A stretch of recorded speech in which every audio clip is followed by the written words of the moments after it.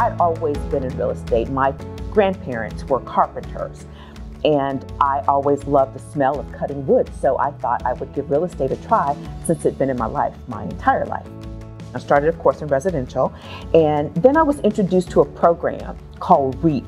It's a Real Estate Associates program, and in that program, I was introduced to all of the different areas that I could touch in commercial real estate.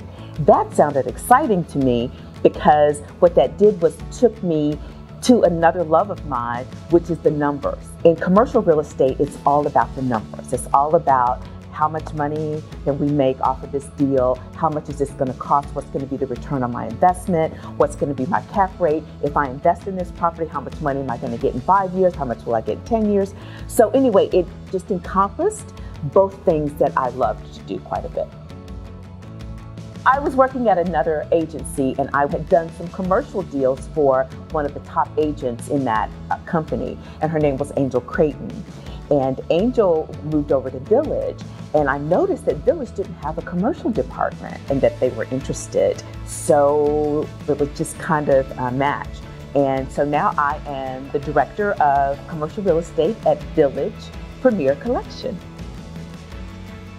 I want to make sure that Village Premier Collections commercial department is going to be stellar, that we are respected in the commercial arena, that we do above and beyond for our clients. I want us to be the, the new buzz, the new kid on the block.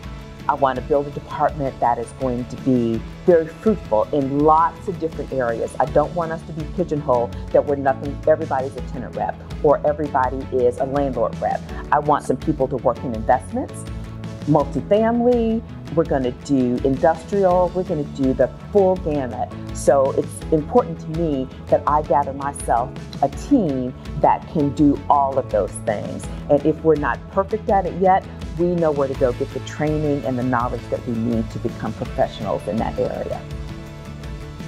Village is prime suited to go commercial because they're a young company, they're innovative, and they don't do things like everybody else.